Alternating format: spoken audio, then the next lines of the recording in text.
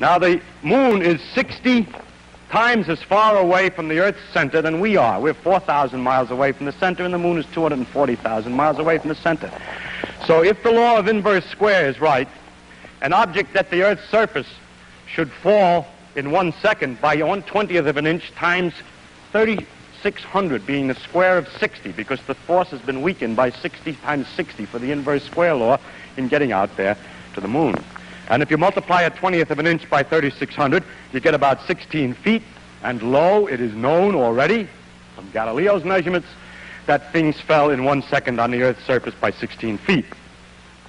So this mean, meant, you see, that he was on the right track. There was no going back now. Because a new fact that was completely independent previously, which is the period of the moon's orbit and its distance from the Earth, was connected to another fact, which is how long it takes something to fall in one second. So this was a dramatic test that everything's all right. Further, he had a lot of other predictions. He was able to calculate what the shape of the orbit should be if the law were the inverse square, and found indeed that it was an ellipse. So he got three for two, as it were. In addition, a number of new phenomena had their obvious explanations. One was the tides. The tides were due to the pull of the moon on the earth. This had sometimes been thought of before, with the difficulty that if it's the pull of the moon on the earth, the earth being here, the water's being pulled up to the moon, then there would only be one tide a day where that bump of water is under the moon. But actually, you know, there are tides every 12 hours roughly, and that's two tides a day. But you must, there was also another school of thought that had a different conclusion. Their theory was that it was the earth that was pulled by the moon away from the water.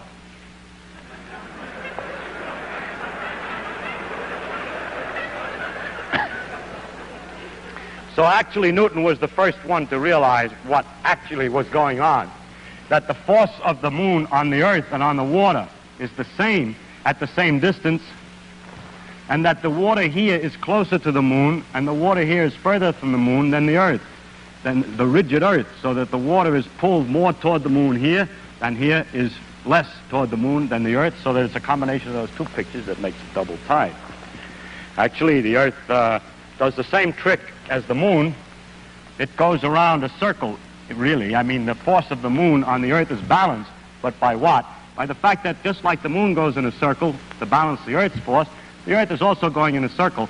Actually, the center of the circle is somewhere inside the Earth. It's also going in a circle uh, to balance the moon. So the two of them go around a common center here. And if you wish, this water is thrown off by centrifugal force more than the Earth is, and this water is attracted more than the average of the Earth.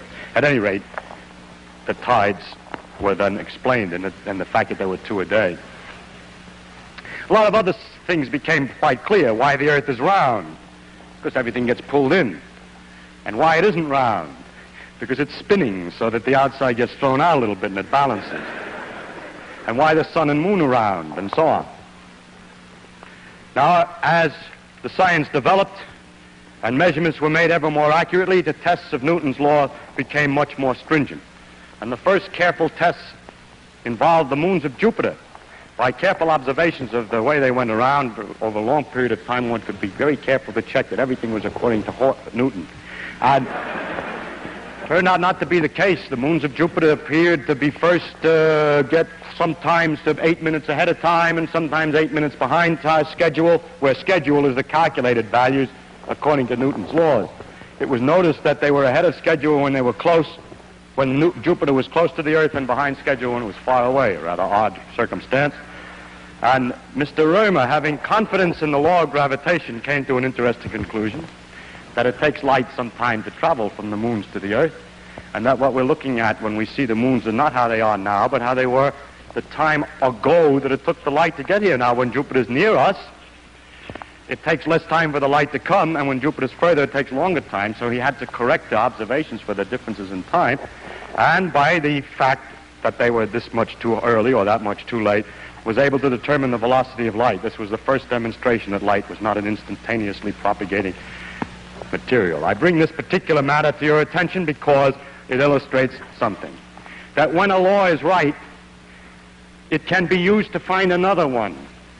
That by having confidence in this law, if something is the matter, it suggests perhaps some other phenomenon.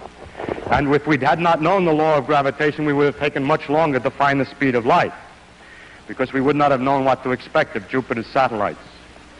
This process has developed into an avalanche of discoveries. Each new discovery permits the tools for much more discovery, and this, uh, begin- this is the beginning of that avalanche, which has gone on now for 400 years in a continuous process, and we're still avalanching along at high speed at this time.